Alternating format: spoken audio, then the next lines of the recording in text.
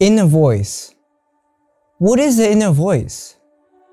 How do we know if the inner voice hasn't taken over us and stopped us from living the life that we want and deserve? How many times have we put something on hold or not done something because we stopped ourselves? Hi, my name is Gabriel Company and welcome to the Gabriel Company Show. For most of us that may not know, the inner voice is an internal monologue, also known as self-talk, inner speech, or inner discussion.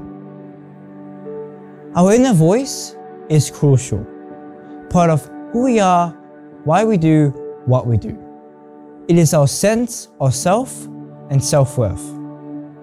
It helps us with planning, problem solving, self-image, self-communication, and our emotions. The reasons why many of us uh, experience this kind of critical dialogue is based on the beliefs that we have about ourselves from an early age. The people we surround ourselves with create the habits and beliefs that we have today. But the question is, how do we overcome the inner voice? How do we focus on achieving what we want?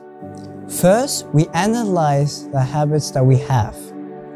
This part is very important because of analyzing allows us to be aware of our actions. How do we do this?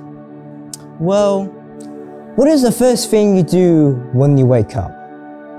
What is the first thing you do when you get home?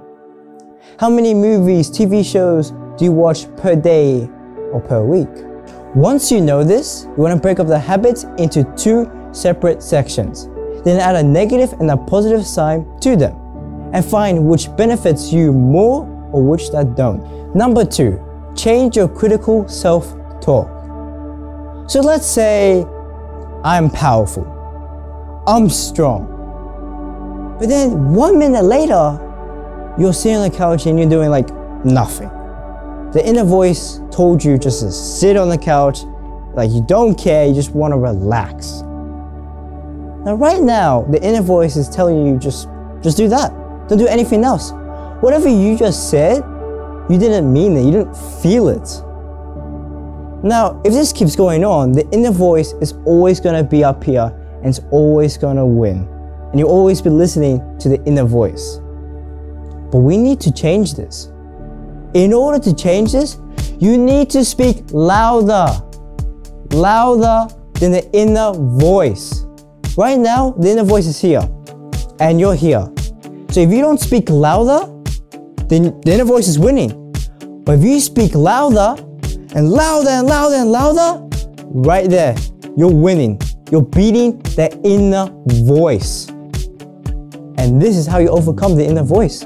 Speak louder, ladies and gentlemen. Number three, meditation. When you want to do meditation, you want to find a place where no one can disturb you and where you can feel calm and peaceful. And also, you want to put on calming music when doing meditation. If your inner voice comes from a deeper emotional connection, find someone that can help you step by step to overcome it. Nothing good ever comes from holding it within. Thank you for watching the video. Remember, like and subscribe to the channel and I will see you in the next video.